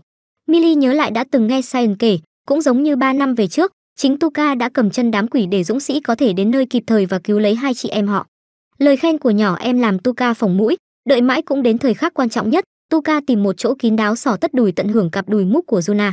Nhưng không hiểu sao khi tỉnh dậy Tuka thấy mình đang ở Albania trong quá khứ, chẳng nhớ nguyên nhân là gì nhưng mà cứ tận hưởng cái đã. Dù men gây rối nhưng lạ ở chỗ chẳng có ai phản ứng lại điều gì. Anh nhớ ra hôm nay là ngày đầu gặp Juna nên chạy như bay đến chỗ cũ đợi con nhỏ. Đúng như dự đoán, nhỏ bạn thân xuất hiện và sau khi trò chuyện Tuka nhận ra rằng thế giới này chỉ có người lạ mới hành động lạ với anh. Nhỏ chạy đi lấy đồ ăn cho anh trong khi Tuka nghĩ cách dạy dỗ nhỏ thành mỹ nữ thích đi tất đuổi sau khi lớn. Đột nhiên anh nghe giọng nói con bạn thân đe dọa anh đừng đục khoét tuổi thơ đẹp đẽ của nó. Lần theo giọng nói men tìm thấy Juna trưởng thành khỏa thân sau bụi cây. Con nhỏ bảo đây là không gian quá khứ được tạo ra từ ma thuật. Cô nói với anh rằng cô giống như một bóng ma trên thế giới này và không ai có thể nhìn thấy hay cảm nhận được cô. Cuối cùng họ nhận ra rằng thế giới này được tạo thành từ ký ức của Tuka và Juna bị hút vào đó vì linh hồn của cô ấy ở trong cơ thể của cô ấy cùng với Tuka. Họ suy nghĩ cách để thoát khỏi thế giới này càng sớm càng tốt. Tuka gợi ý rằng họ nên rời khỏi thành phố để đến một nơi mà anh chưa từng đến. Trên đường đi, anh hỏi cô làm sao cô biết tên anh trong lần đầu họ gặp nhau. Cô trả lời rằng cô thường thấy anh ngồi một mình buồn như chó cắn nên đã hỏi thăm xung quanh rồi mới quyết định lại gần giúp đỡ anh. Họ đến một đoạn không gian có bức tường trắng xóa, men đưa tay chạm vào nó thì thấy bàn tay xuyên qua. Anh quyết định đi khám phá phía bên kia trong khi giữ chặt sợi dây mà Juna giữ ở đầu bên kia để đảm bảo an toàn. Nhưng mà ông cháu chẳng lựa lực gì cả kéo cả con bạn sang bên đó luôn, hóa ra đó là ngôi nhà của cô nơi cô và Milly ngồi uống trà cùng Tuka. Men không ngừng thăm dò và nhận ra thời gian sẽ trôi đi mỗi lần anh đi qua một bức tường trắng. Sau nhiều lần đi qua bức tường trắng, họ đến được dòng thời gian từ 5 năm trước, nơi Tuka cùng cha mẹ đến ngôi làng bị phá hủy bởi chiến tranh. Thời gian tiếp tục trôi tới ngày bố anh đột nhiên biến mất, mẹ ra ngoài mua thuốc cho anh rồi cũng mất trên đường. Anh quyết định thách thức số phận, nhảy ra cứu mẹ bất chấp Juna phản đối. Nhưng đến cùng anh vẫn tới muộn, bà đưa cho anh lá thư mà Juna gửi anh và xin lỗi anh vì đã không thể cho anh cuộc đời hạnh phúc. Họ lại dịch chuyển đến một chiến trường rồi dừng lại trước thời khắc cánh cổng địa ngục mở ra. Hóa ra Tuka đã chứng kiến cảnh cổng địa ngục mở ra và vô số ác quỷ trà ra từ cánh cổng đó, họ bỏ chạy để tìm nơi an toàn. Juna đột nhiên nhận thấy vết thương bên sườn Tuka không khỏi lo lắng, Tuka trấn an cô không cần lo. Con nhỏ đã biết tất cả sự thật vì dù cơ thể bị biến thành zombie nhưng linh hồn nó nghe được và chứng kiến hết mọi thứ, cả chuyện Milly đã nói với anh. Juna xin lỗi vì đã luôn coi sự hiện diện của anh là lẽ đương nhiên. Men kể cho cô bạn nghe về ngày này, chính ngày anh mắc kẹt ở đây trong tuyệt vọng và mở lá thư của cô ra đọc. Chính những dòng chữ cô viết đã cứu vớt anh và cho anh động lực tìm về quê hương. Anh có thể đã cứu cô một lần, nhưng cô đã luôn cứu anh kể từ khi họ gặp nhau lần đầu tiên. Khoảnh khắc ngọt ngào của đôi chim câu bị gián đoạn bởi sự xuất hiện của luồng sáng đáp xuống đất. Khi làn khói tan đi, họ thấy rằng đó là một con quỷ thượng cấp chưa bao giờ xuất hiện trong ký ức của Tuka. Nó cho biết chính nó đã tạo ra thế giới này dựa trên ký ức của Tuka vì nó tôn dùng cảm giác nuốt chửng nạn nhân trong ký ức của họ và thấy họ vùng vẫy trong tuyệt vọng. Tuka nắm tay nhỏ bạn thân vội vã chạy trốn nhanh nhất có thể. Ác quỷ cho biết cách duy nhất để thoát khỏi đây là đánh bại nó. Tuka càng tăng tốc đi qua hết thời không này đến thời không khác để tìm đến thời điểm sức mạnh đạt đỉnh cao. Anh gặp hết người này đến người khác có thể giúp sức, nhưng tất cả đều nằm trong kiểm soát của con quái vật nên họ đều bị hắn hạ bệ nhanh chóng. Cuối cùng Men cũng đến được khoảnh khắc đỉnh cao của sức mạnh. Con quỷ chỉ có thể ăn linh hồn nên phải vào thế giới trong mơ kiếm ăn. Phiền phức là cơ thể thật của nó hoàn toàn vô dụng nên nếu có đồng đội của anh đến thì nó chết chắc. May mắn là họ đang bận đối phó với đám quỷ mới được thả vào làng. Tuka đang ở kỳ sung mãn nhất nên éo ngán một ai nhưng đen cho cậu đây là thế giới con quỷ tạo ra nên nó đã nhìn thấu hết ý nghĩ của cậu. Men chợt nhớ ra con quỷ không thể thấy Juna vì cô nàng là linh hồn khác, nhỏ leo lên lưng Men điều khiển thánh kiếm còn Men chỉ nghĩ đến đùi đùi đùi cho con quỷ loạn trí. Đúng là đã có tác dụng, vì toàn đọc được đùi nên con quỷ loạn trí bỏ chạy. Tuka dùng chiêu thức yêu thích biến ra chiếc đùi đeo tất khổng lồ giã bẹp con quỷ. Thanh niên thoát khỏi ma thuật tỉnh dậy ở thế giới thực trong cơ thể Juna bên cạnh con quỷ. Tuka nhìn quanh thì thấy linh hồn Juna đang nhìn mình, khi anh muốn nói chuyện với cô nàng thì mấy đứa đồng đội phá đám chạy đến kể cho anh nghe vụ bọn quỷ tấn công căn cứ của họ. Đám quỷ đã bị tiêu diệt hoàn toàn còn cỗ xe cũng đã sẵn sàng lên đường. Trong khi đó các tinh binh được pháp sư hoàng gia phái đi điều tra đã tìm thấy xào huyệt của Diego và Friedrich. Tuka bị nhỏ bạn thân bắt quay về cơ thể dũng sĩ, anh vẫn có thể nói chuyện với linh hồn Juna khỏa thân nhưng mấy con bánh bèo tưởng anh bị ngộ.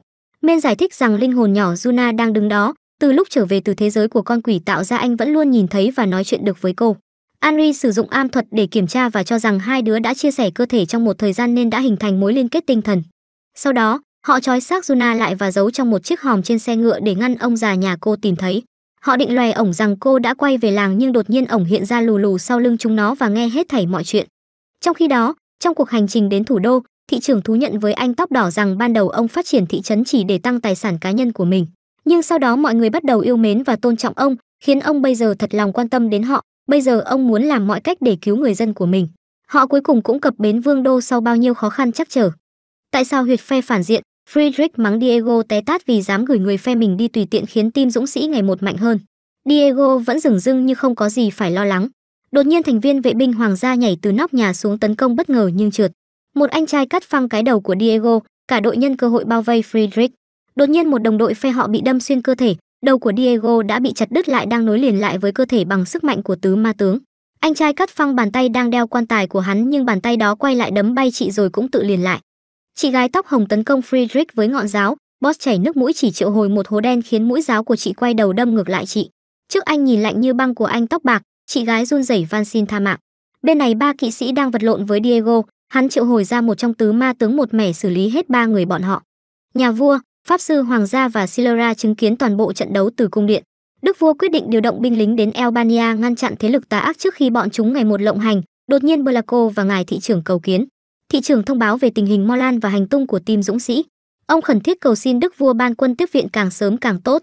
Nhà vua cho biết muốn gửi cứu viện sẽ mất khá nhiều thời gian, thị trưởng vội quỳ dạp xuống van xin hoàng gia hãy cứu lấy con dân của ông. Silera xin phép đức vua để mình dẫn quân và nhờ đến sự trợ giúp của anh trai thích ở Trần Cai, ông anh không còn sự lựa chọn nào ngoài đồng ý. Trong khi đó, Izo bằng cách nào đó đã xin sỏ được Rido làm cho cả nhóm một bộ liên lạc ma thuật để tiện nói chuyện khi chiến đấu. Cả nhóm chia tay Izo lên đường nhưng bà cô dường như không nỡ xa đệ tử nên tìm đường quay đầu.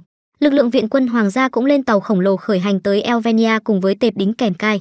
Thanh niên vẫn quyết tâm giết Tuka để tự mình trở thành dũng sĩ, nuôi tham vọng xử lý hết tứ ma tướng và đứng trên đỉnh cao danh vọng. Đội của dũng sĩ đã đến Albania nhưng chưa kịp vào cổng thành đã bị quân địch nã mưa bom bão đạn. Men dùng thanh kiếm tạo thành khiên che chắn cho chiếc xe thành công lao vào cổng thành. Vừa đặt chân đến nơi tim dũng sĩ đã được chào đón bởi hàng ngàn con quỷ. Khi đang mải nói chuyện với bộ xương được điều khiển bởi Diego, Men bị sư phụ đâm sau lưng một nhát ngã sấp mặt lờ. Diego thử dùng ma lực nhìn xuyên thấu thì quả nhiên thể tinh thần của Tuka đã biến mất. Izo vác xác thằng đệ tử đi gặp sếp chảy nước mũi háo hức lấy tiền thưởng nhưng tất cả đều nằm trong sắp xếp của Men để thành công đột nhập lâu đài. Kế hoạch được dàn xếp bắt đầu từ lúc Izo đâm sau lưng anh, Henry sẽ dùng chiêu hồn thuật đưa tinh thần anh về thể xác thật. Hai đứa chuẩn bị lên đường thì Henry xuất hiện xin sỏ được cùng đi với chúng nó. Gần đến nơi thì Men đập mặt xuống đất vì tác dụng phụ của soma thủy và cơ thể suy yếu. Đột nhiên hai con quỷ đi tuần ngang qua khiến anh phải dùng kiếm ngụy trang nhưng vừa hay lại là cái vỏ chứa hoàn hảo để đột nhập căn cứ địch. Họ giả vờ trói các Anri lại giống như bắt được con nhỏ và mang vào căn cứ. Tại cổng chính họ thấy người dân bị đám quỷ tấn công nhưng phải nhịn xuống không can thiệp vì đại cuộc. Hơn nữa cơ thể họ mang là đám quỷ binh cấp thấp nên sẽ chẳng ai nghe lời họ. Tuka nghĩ ra cách đội quần lót để giả làm quỷ cấp cao và bước đến. Anh đánh lạc hướng suy nghĩ của đám quỷ bằng cách hứa sẽ chỉ chúng nó cách vui sướng 120% và thì thầm sự thật cho đám con gái loài người nghe, đại loại là chịu khó khỏa thân đi tất đùi để giữ mạng. Bày mưu tính kế xong anh quay lại chỗ đồng đội và được hai con quỷ binh cấp thấp tìm đến. Họ nói rằng ma quỷ không hành hạ con người trước khi Diego xuất hiện, nữ hoàng Erdel đã dạy dỗ chúng nó rất tử tế nhưng cô ả đang bị Diego kiểm soát. Hai tên quỷ binh dẫn men đến gặp nữ hoàng và xin cậu giải cứu cô. Nữ hoàng Erdel hóa ra chính là con quỷ ngực bự đã biến con người thành thây ma. Tuka bốc phét mình là quỷ cao cấp lang thang đưa ra đề nghị giúp nữ hoàng hạ gục Diego và xây dựng thế giới hòa bình. Nữ hoàng vẫn còn hơi do dự vì nếu như vậy rất nhiều đồng bào sẽ bị thanh trừng. Men bày đặt nói thầm và khi nữ hoàng đến gần, anh xài chiêu gõ chán mà sư phụ tiết lộ để khiến bà nữ hoàng lăn quay ra ngủ. Tiếp đó anh xử lý luôn hai thằng quỷ binh rồi tính chém đôi má nữ hoàng giải thoát cho người dân bị quỷ hóa thì đột nhiên một hố đen mở ra hút cơ thể men vào trong rồi xém cắt phăng đầu anh. May nhờ có Anri đã triệu hồi linh hồn anh về cơ thể thật đúng lúc. Friedrich bước vào qua hố đen trên tường khiến Henry ngỡ ngàng ngơ ngác bật ngửa vì ông anh trai còn sống. Diego qua con mắt lồi theo dõi hết tình hình liền ra lệnh cho quân quỷ binh truy lùng dũng sĩ. Milly lo lắng gọi bọn họ qua máy liên lạc, men trấn an con nhỏ hãy yên tâm, việc cần làm là câu thêm thời gian. Con nhỏ bất ngờ bị tấn công, lại bị tan chảy quần áo, con gái khỏa thân đeo tất đùi đã thu hút sự chú ý cả đám quỷ trong thành. Friedrich hỏi con em gái có phải đang bị uy hiếp không tại sao lại đi cùng dũng sĩ. Henry lập tức phủ nhận, con nhỏ theo dũng sĩ hoàn toàn là vì sự lựa chọn cá nhân hoàn toàn tỉnh táo của nó. Con nhỏ nhắc nhở anh sự kiện tăng thương của tộc chiêu hồn 3 năm về trước và khuyên anh đừng lún sâu vào thù hận để rồi mất nhiều hơn được. Ông anh chảy nước mũi chưa bao giờ muốn lôi người vô tội vào cuộc. Anh chỉ muốn thay đổi chế độ thống trị để giành quyền lực về tay tộc chiêu hồn. Có điều thành tựu nào cũng cần có hy sinh thế nên những người kia hy sinh là cần thiết cho đại cuộc của bọn họ. Sau đó, anh ấy nhắc Anri rằng người mà cô ấy đang giúp đỡ lúc này chính là người đã giết chết vị cứu tinh mà cô ấy vô cùng ngưỡng mộ. Anri bảo chữa đó chỉ là hiểu lầm, Tuka đã cứu cô rất nhiều lần và đồng hành mà không hề phàn nàn về cô nàng. Diego đột nhiên phá tường xông vào cùng với vị ma tướng bên cạnh, hắn thúc giục xếp chảy nước mũi giết quách mấy đứa không nghe lời đi là xong. Sau đó hắn để tên ma tướng ăn luôn bà nữ hoàng trên mặt đất cường hóa sức mạnh. Bây giờ muốn giải phóng người dân, dũng sĩ và đồng đội sẽ phải giết Diego. Trong khi đó, những người còn lại trong nhóm đã dẫn dắt lũ quỷ vào những cái bẫy do Tuca giăng sẵn. Tuca và hai con bánh bèo bỏ chạy khỏi Diego và tên tướng. Tuca khích tướng hắn có giỏi thì trả lại kiếm cho anh để hai bên đánh công bằng. Bị khích tướng Diego đã đồng ý nhưng Friedrich phải nhắc nhở hắn tỉnh táo lại vì Dũng sĩ là một kẻ lừa đảo giỏi thao túng tâm lý người khác. Men thất vọng cho biết nếu muốn xài bẫy thì anh đã dùng từ lâu rồi vì trên chuôi kiếm ông anh đang cầm có bẫy lôi điện. Men sẽ không thỏa mãn cho tới khi nào kẻ động vào bạn bè anh bị băm vằm thành từng mảnh. Diego ngu dốt đã trúng bẫy. Họ hẹn nhau một trận sinh tử đấu trên tòa tháp hiến tế để đứa thu hiến mình cho thủy thần. Izo đã nghe về cuộc chạm trán, bà cô dùng thi thuật điều khiển đội quân quỷ giúp sức cho đồ đệ của mình. Tuca phóng to thanh kiếm của mình, nhưng con quái vật hóa ra nhanh hơn vẻ ngoài của nó và di chuyển ra khỏi tầm ngắm để xuất hiện ngay phía sau anh. Diego giáng xuống một đòn ném men vào tường. Diego lao đến tung chiêu kết liễu trong khi chế nhạo dũng sĩ thì đột nhiên sập bẫy mà anh đã bày sẵn. Con quỷ rơi vào tòa tháp nơi Izo đang đợi cùng với đội quân quỷ của bà và cả sự xuất hiện của Anri. Họ đồng loạt bắn ma thuật lôi về phía con quỷ khiến nó bị tê liệt không thể dùng khả năng tái sinh. Trên mái nhà Friedrich rút kiếm ra nhưng trước khi kịp di chuyển Anri đã khiến cơ thể Sion tặng cho anh một cú đá đau điếng. Con nhỏ lại để Tuka dịch chuyển vào cơ thể cựu dũng sĩ để trước hết kết liễu Diego. Men uống soma thủy tăng ma lực lên cấp 9 lao như bay về phía trận chiến tặng cho con quỷ một nhát kiếm khổng lồ giữa người. Nhưng khi anh vừa tiếp đất, cánh tay của anh đã bị Diego xin nhẹ, hắn xuất hiện trong hình dạng con quỷ. Hắn tiết lộ rằng ma tướng có khả năng hấp thụ phép thuật vậy nên mọi đoàn tấn công tiếp cận lên mà tướng đều không có tác dụng. Hắn chỉ giả vờ bị tê liệt vì thấy tò mò về kế hoạch của đám dũng sĩ. Tuka phá hủy cây cột bên cạnh để đè con quỷ ở dưới tranh thủ chút thời gian nghĩ kế hoạch khác. Anh chạy đến chỗ Anri và Juna để hỏi Anri có nhớ dũng sĩ đã đánh bại tứ ma tướng như thế nào 3 năm trước hay không không. Thật không may, Anri chỉ gặp được dũng sĩ sau khi các ma tướng đã bị đánh bại, nhưng Juna vẫn nhớ mình đã theo dõi trận chiến từ xa. Cô nàng kể rừng anh hùng đã chia thanh kiếm thành nhiều nhánh để đánh lạc hướng con quỷ rồi tấn công bất ngờ. Vừa hay công chúa đã đến vị trí ngắm bắn chỉ định, nên bảo cô nàng hãy sẵn sàng tấn công ác quỷ khi nó xuất hiện. Ngay sau đó con quỷ đã đuổi đến, công chúa tặng hắn một mũi tên làm quà chào mừng khiến nó lủng một lỗ trên đầu. Vết thương này đã chứng thực giúp men con quái vật chắc chắn phải biết đòn tấn công đến từ nơi nào mới có thể thi triển thuật hấp thụ. Tuka cắm thanh kiếm của mình xuống đất biến nó thành một con sâu trong khi Juna và Anri chăm chỉ tìm kiếm điểm mù của con quỷ để dũng sĩ một chiêu đánh hạ nó ngay tức khắc. Tuy nhiên khả năng tái sinh của tứ ma tướng cho phép tên Diego hồi phục với cả những vết thương do thánh kiếm gây ra. Hắn đáp trả dũng sĩ đánh bay luôn cánh tay của ông cháu lần nữa, may mà là thây ma còn ghép lại được. Quả nhiên phải đánh vào điểm yếu của thây ma là cái đầu thì mới chấm dứt được cuộc chiến này, nhưng để làm được điều đó anh phải tiêu hao năng lượng của Diego bằng cách bắt hắn tái sinh nhiều lần. Trong lúc đó Izo và Friedrich vốn là đồng minh lại trở mặt với nhau. Izo cho rằng Diego chỉ tổ ngáng chân xếp chảy nước mũi thôi chứ chẳng được ích lợi gì nhưng anh tóc bạc không muốn mất thêm đồng bào nào nữa.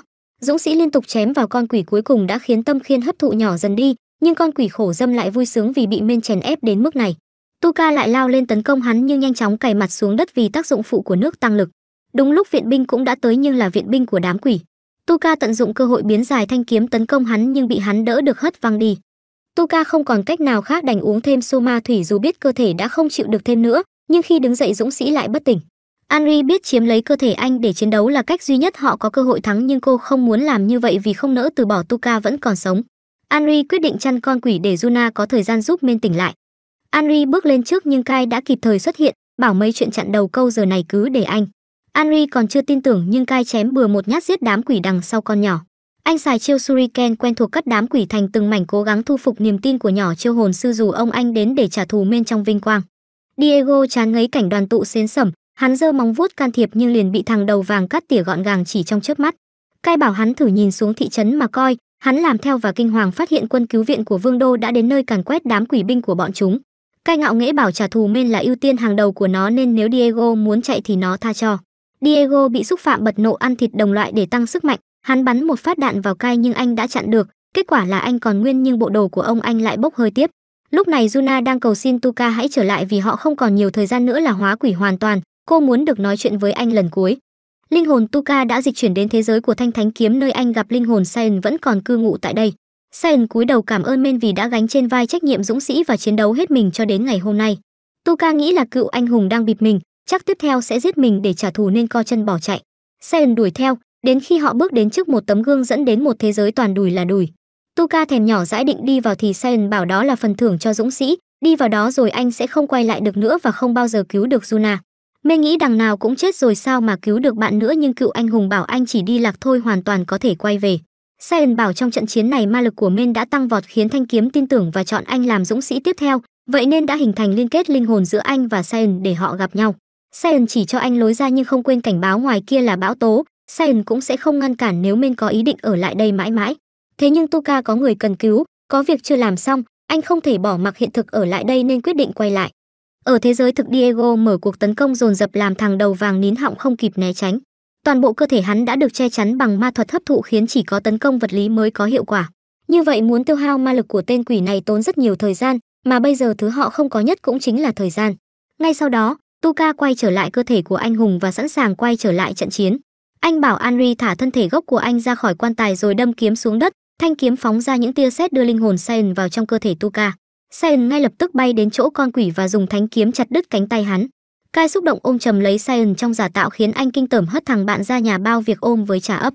Diego chuẩn bị tấn công dũng sĩ lần nữa nhưng không thành vì đã bị Saiyan tùng xẻo gọn gàng, làm vỡ viên ma tinh thạch trên trán hắn ta, khiến hắn không thể sử dụng thuật hấp thụ trong một thời gian và tạo cơ hội cho Tuka kết liễu hắn trước khi hắn lại lần nữa hồi phục. Tuka rút ngắn lưỡi kiếm của mình để tập trung lượng mana ít ỏi mà anh ta có để tăng sức xuyên thấu của nó để tập trung đâm vỡ sọ con quỷ. Men lao vào chém Diego thành từng mảnh, hắn lại định dùng ma thuật phục hồi lần nữa nhưng cai nhanh tay dùng Shuriken ghim hắn lại. Chỉ còn một phút trước khi mọi người vĩnh viễn biến thành quỷ, Tuka tăng cường khả năng của mình và chạy về phía con quái vật với tốc độ thần thánh, né tránh các xúc tu của hắn. Anh nhảy lên không trung, bất chấp tấm khiên mà Diego tạo ra, anh đâm thánh kiếm vào đầu nó phá vỡ hộp sọ, cuối cùng cũng thành công thanh lý môn hộ con quỷ khó chịu. Diego cố gắng tháo chạy khỏi cơ thể con quỷ bay đến khu rừng nơi có quan tài chứa thân xác thật của hắn. Ngay khi thở phào nhẹ nhõm vì còn sống, hai con quỷ cấp thấp đến gặp hắn để trả thù cho cái chết của nữ hoàng Erdel. Sáng hôm sau, người dân bị hóa quỷ đã trở lại bình thường, còn Izo và Friedrich thì không thấy đâu. Tối hôm đó, thị trưởng tổ chức một bữa tiệc để vinh danh dũng sĩ, còn có riêng tiết mục tiệc đêm muộn bởi các chị gái nguyện dâng hiến đùi múp. Juna ghen tị khi nghe điều này, cô nàng kéo thằng bạn vào một hành lang yên tĩnh cho phép thằng bạn sờ đùi. Sau đó quá xấu hổ con nhỏ giọt thẳng vào nhà tắm suối nước nóng ngâm mình. Công chúa cũng tới thư giãn và giúp nhỏ nhận ra tình cảm của mình dành cho thằng bạn đần. Cô nói họ có thể đều sẽ cảm thấy mình thật ngốc khi yêu người lắm khuyết điểm lại biến thái như ông tướng nhưng vì lòng dũng cảm của anh là thứ quyến rũ nhất. Vì họ sẽ đồng hành với nhau một chặng đường dài nên dù là tình địch hai đứa quyết định sẽ chung sống hòa thuận và thấu hiểu nhau. Trước khi Saiyan biến mất, anh khuyên Tuka hãy mau rèn luyện và tăng ma lực trước khi đến cổng địa ngục.